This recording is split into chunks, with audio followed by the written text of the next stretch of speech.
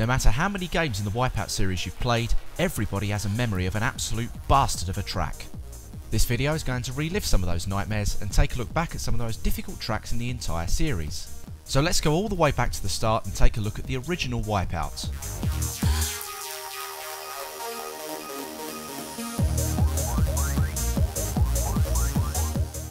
The first three tracks in the original Wipeout may have had some nasty tricks up their sleeve, but they were fairly straightforward. However, that false sense of security was quickly broken when you reach Korodera. Most of the circuit is littered with quick corners, requiring you to be fairly good with the air brakes to maintain the craft's balance. Throw in a few sharp blind corners as well and you have a considerably tricky circuit. There's also one part in the track where you fly over a tall peak. If you're playing on Rapier class you'll need to slow your craft down before you go over the top. If you don't, the craft will leave the track entirely.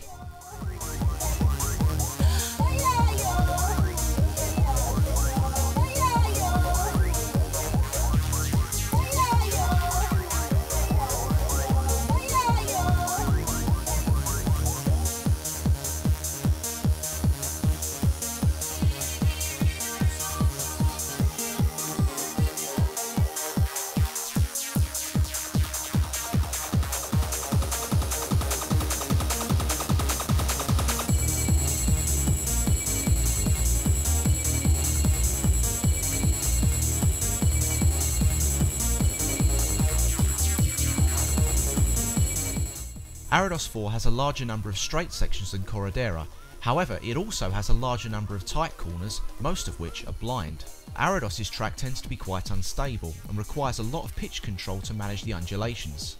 It's usually at this stage, especially on Rapier class, where you need to get the hang of opposite braking.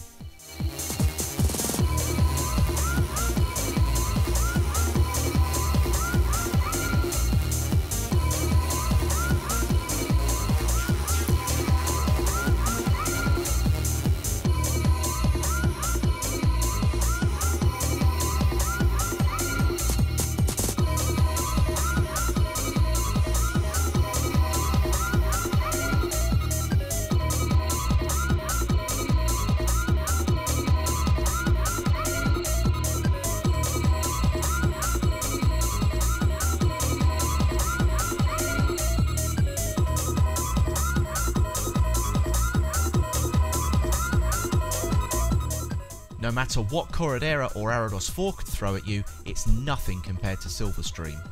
Multiple paths, undulating track sections, quick destabilising corners, sharp blind corners, and unusually for the first Wipeout game, a hairpin corner, this track is widely regarded to be the most difficult in the entire series.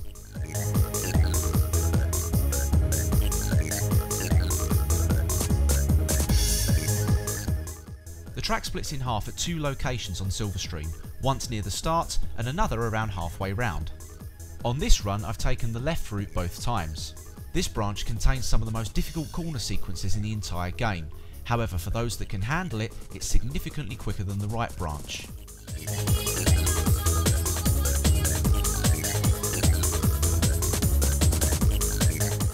The right hand branches do tend to be easier than the left hand counterparts, but they do add around 2 to 3 seconds to your lap time.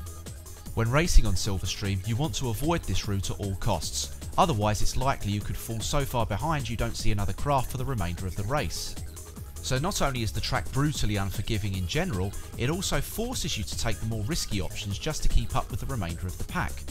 Put all of this together and Silverstream has rightly earned its place as number one bastard of the entire series.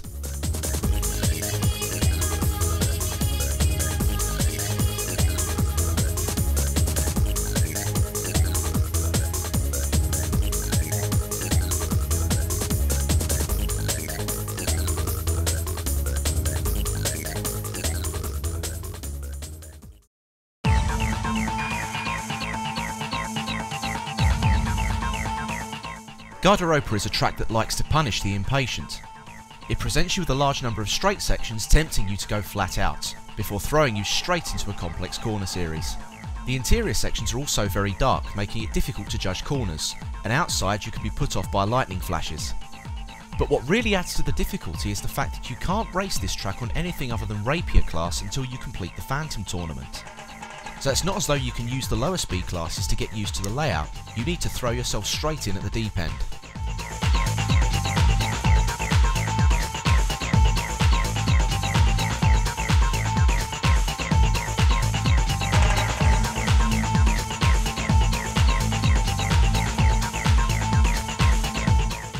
Odessa Keys is absolutely riddled with sharp blind corners, some of which are very difficult to tackle in a heavy craft. You need to have good thrust management to be able to tackle this circuit, and the final corner is next to impossible at full speed. Also, just like Gare d'Europa, you can only race it at Rapier class until you complete the Phantom tournament.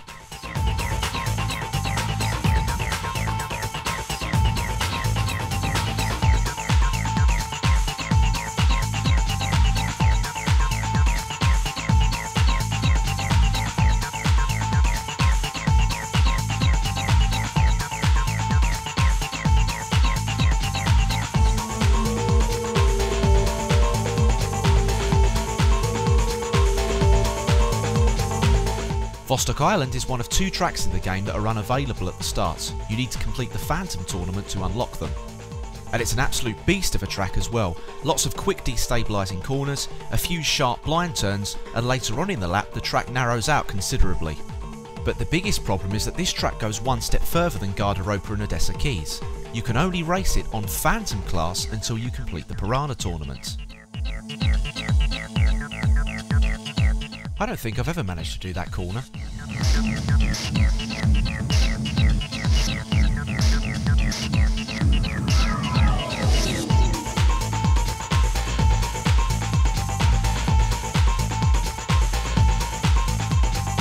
And the final track from 2097 is Spilskinanke. This track is incredibly unpredictable, and when you first race it, it can seem like it will just disappear from in front of you. There's a number of sections of broken track as well which will need very good air brake management to navigate, otherwise you could find yourself flying off the track entirely. Couple this with very dark indoor sections, lightning strikes outside, and the fact that you can only race this on Phantom class until you complete the Piranha tournament, this is by far the most difficult track in 2097.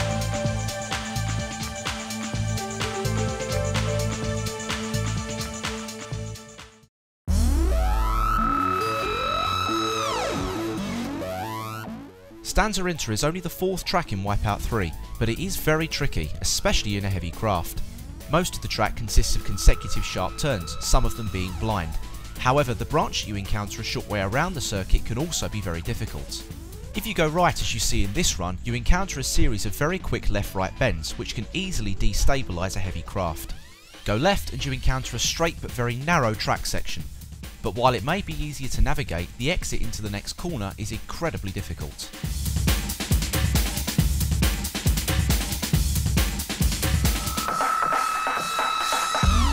Hifumi has a number of tricky corner series that can tighten on you without warning. You'll need to be very nimble on the air brakes on this one, as the entrances to a lot of the corners are not ideal.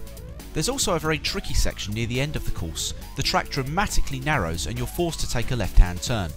Under normal circumstances it would be fairly easy, but with the track that narrow you need to get it absolutely spot on.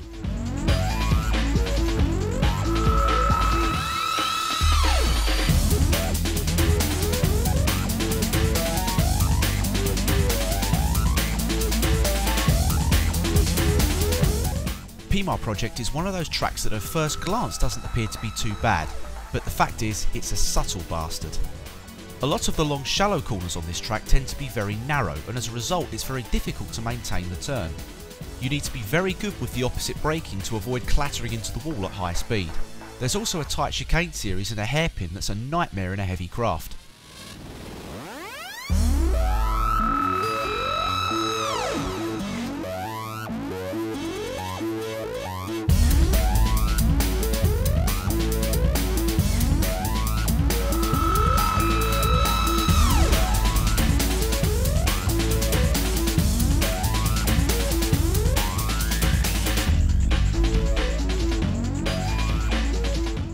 Prototype tracks only become available when you gain a medal on every track using every craft in a particular speed class. Doing this on three different speed classes earns you the right to race on LS103, and my god it is a nightmare. Because of the simplified textures on the track, sometimes it's difficult to predict upcoming corners. And when you consider that a lot of them are quite sharp and on narrow track sections, that's a real problem. It's also worth noting that the prototypes are only available in single race. You can't practice them in time trial.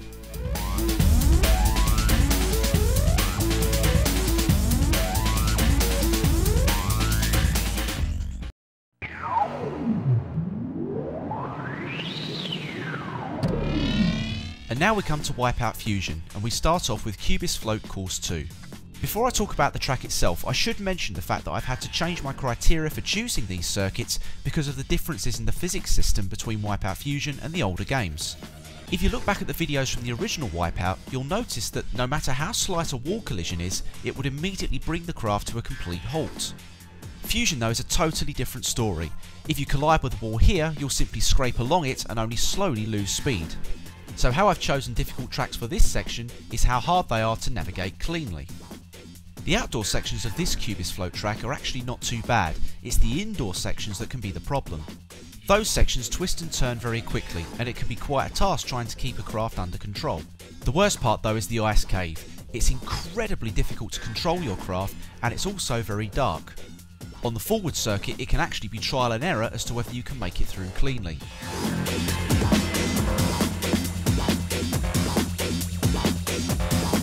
The reverse variant of the circuit has three separate track splits. This run will show the left-hand branches. The first and third branches actually don't have that much difference between them. It's worth just going down whichever one is more accessible. However, just like back in Silverstream, the second branch can make a massive difference to your race. Because that branch gives you such an advantage, you do need to be very quick on the left air brake to get your craft onto it.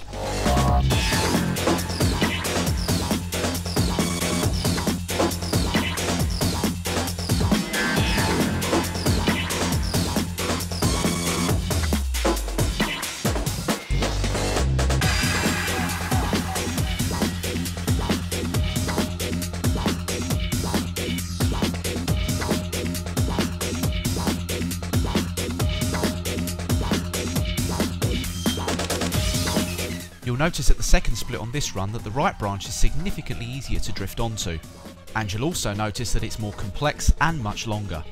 Aside from the ice cave, this is one of the major difficulties in this circuit. Because it is so easy to drift onto the harder branch, it makes life much more difficult.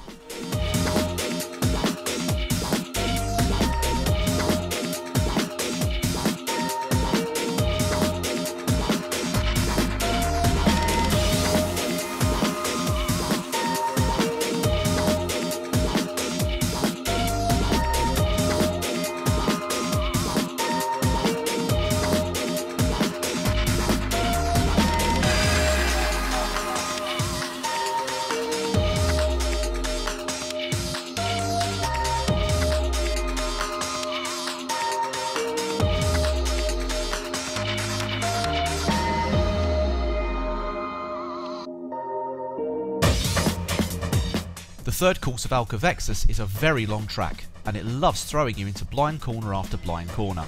This is a circuit that really tests your use of the air brakes if you don't want to be wall grinding for most of the track. The open section at the end is also very tricky. One wrong move and you'll end up slamming into a pillar, grinding to a halt and severely damaging your craft.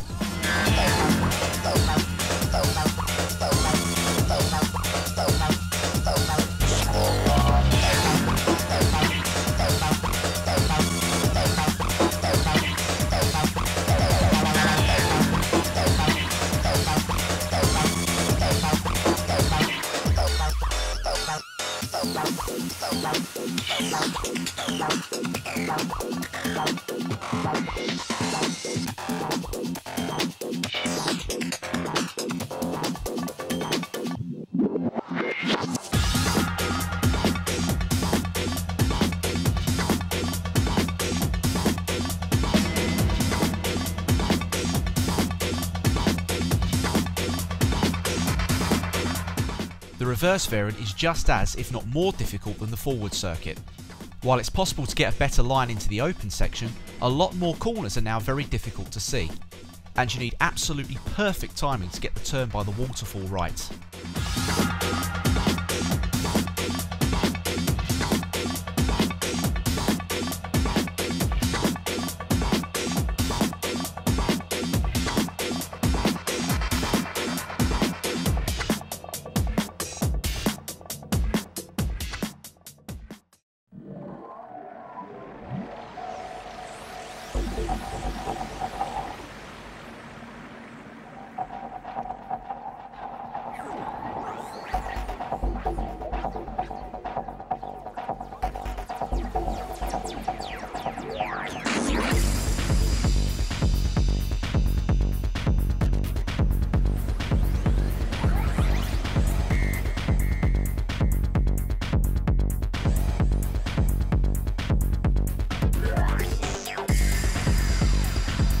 Vol Square Course 3 is actually a bit of a mixed bag. While the indoor sections do tend to twist and turn quite a lot, it's the outdoor sections that can catch people out. Navigating the bridge struts on the open section can be quite tricky. You need to remember which paths are accessible and which ones are blocked.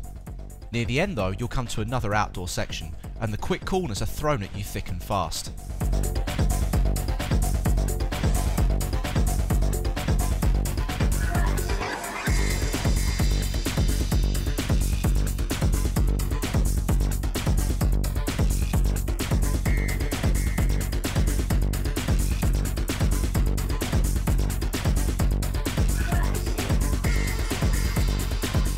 Doesn't get any easier if you play the course backwards. You now have to deal with the complex outdoors section first, and the approaches are not necessarily as good as they were before.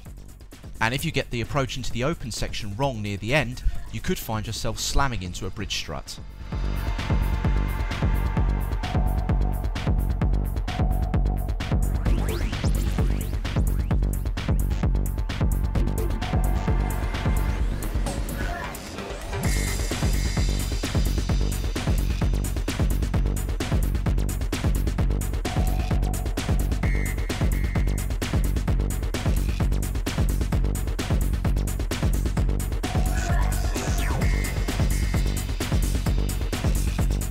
Oh my god, this course is horrible!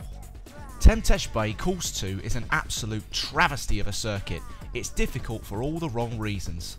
It's littered with sharp blind corners, you have two parallel track sections that you can easily jump between, you've got open sections that can send you ploughing into a random rock pillar, and those bulkheads. Those bloody bulkheads. They don't open until you are practically on top of them, Basically, you're completely blind to the track up ahead, and there are loads of them all through the circuit. It's not so bad once you get outside, but there is nothing more difficult than that first section in the entire game. And no, it isn't any easier the other way round.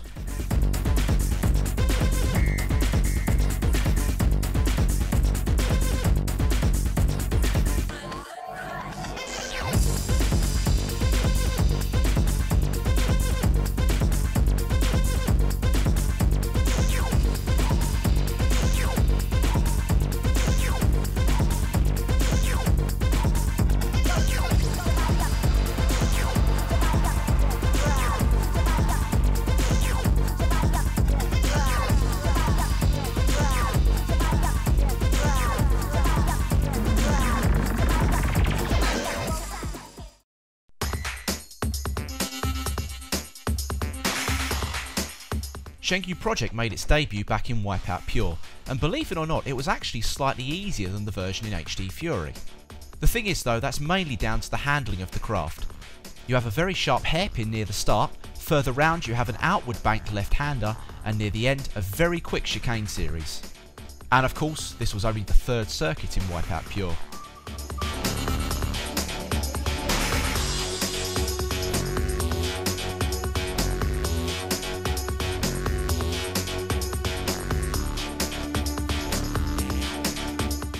Citadel has a few characteristic difficult sections, most notably a very sharp right hairpin halfway round the track. But that's not why this course is listed here. It's here because of an incredibly difficult undulating chicane series about three quarters of the way round. Navigating such a sharp chicane series is difficult enough, but the undulations are so great they can actually throw your craft off the track, or even worse, flip it upside down entirely.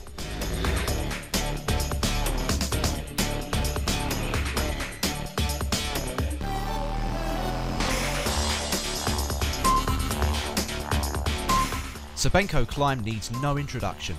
It's by far the most difficult circuit in Wipeout Pure, plenty of very sharp corners that require you to be very good with your air brakes and with your pitch management. But to be honest, it is still slightly easier than its incarnation in Wipeout HD.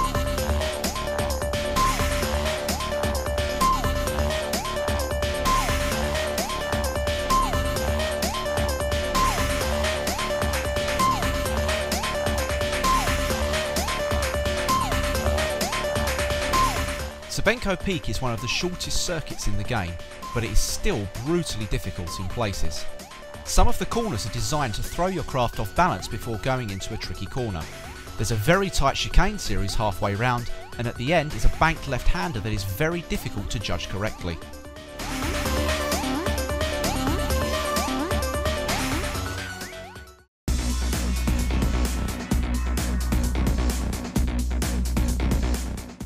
Kick off the Wipeout Pulse section with Platinum Rush. This course is cut from the same mould as P-Mar Project in Wipeout 3.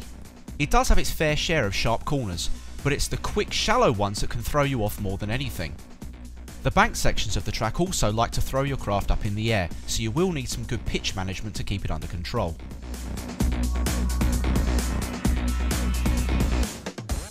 The black run sends you through the more difficult sections right from the start, and it can be even more difficult to keep control of the craft as it's thrown up into the air. There are some sections where managing your thrust is crucial to navigating the track cleanly.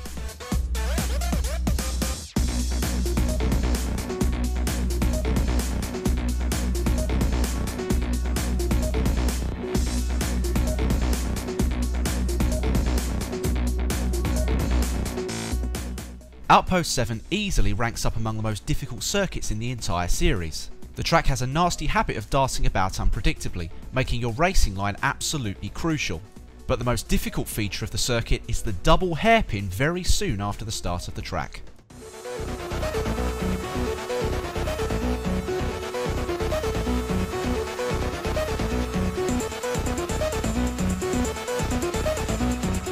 The circuit can be even more unforgiving on the black run, the approaches to some of the corners are now nowhere near as favourable. And the hairpins have also lost most of their speed pads, so you'll need to be a lot more accurate with them than you were in the white run.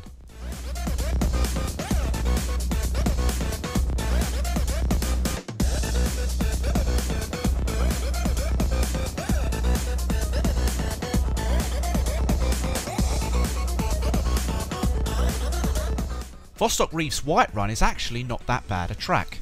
It does have its fair share of sharp chicanes, but the majority of them are going downhill.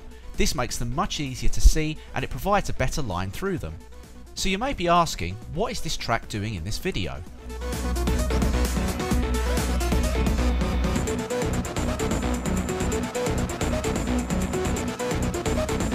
The answer to that question is the Black Run.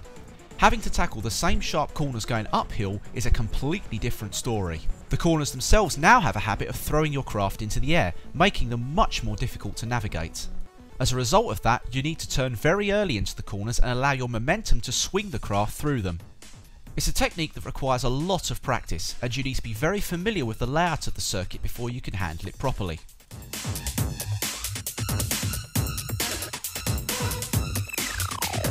Gemini Dam will test your ability to use the air brakes to its absolute limit. The track is absolutely littered with consecutive sharp corners, some of which are right angled. You need to have a very good racing line through this circuit. If you don't, it can punish you badly.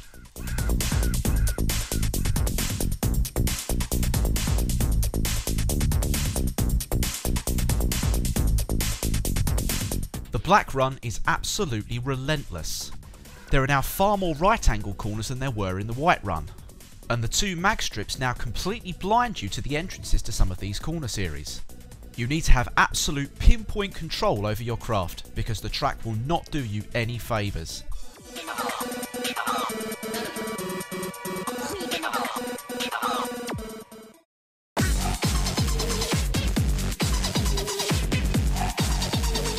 Chenghou Project is back in Wipeout HD, and it has a few new tricks up its sleeve. The layout of the course is identical to how it was in Wipeout Pure. However, the track is a lot narrower through the hairpin, and the outward banked corner is now steeper.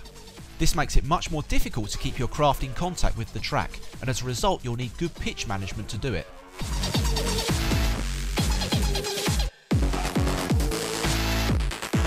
The reverse variant is easier in some places but more difficult in others. The quick chicane at the start of the track has a less favourable line, as does the hairpin, which now appears near the end. However, the banked corner has now been flattened out, making it much easier to navigate.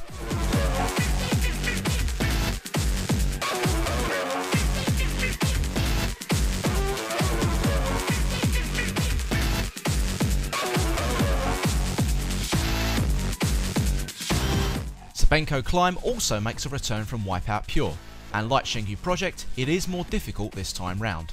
The sharp corner series going up the mountain require you to be very hard and very fast on your air brakes. Timing is everything. And then near the end of the track, coming out of that highly banked corner and landing in that chicane series is not easy.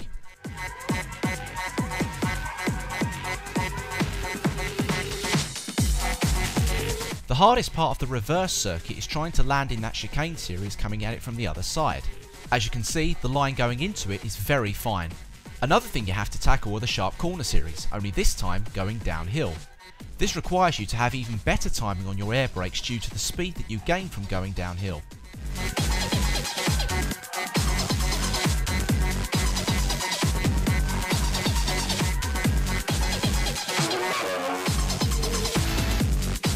The opening part of the Übermoor circuit is actually not that difficult.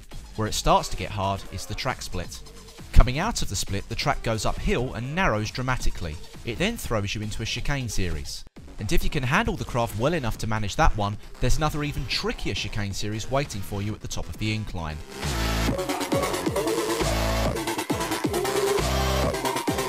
The reverse circuit is just as tricky. The entrance to the first chicane series is still not ideal, so you'll need to have good air brake and side shift use to get through it.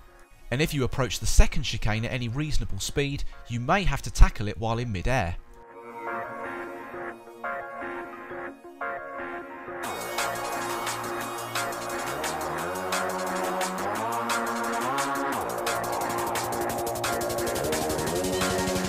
Modesto Heights is a very tricky circuit indeed.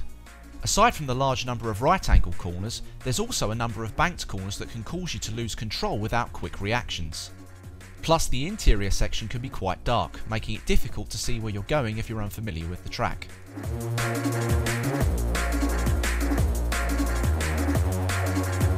And doing the course backwards makes life even more tricky. It's very difficult to get a good line through the shallow chicane series when you're coming at it through a banked corner and the double right hander near the end of the indoor section has an incredibly difficult approach.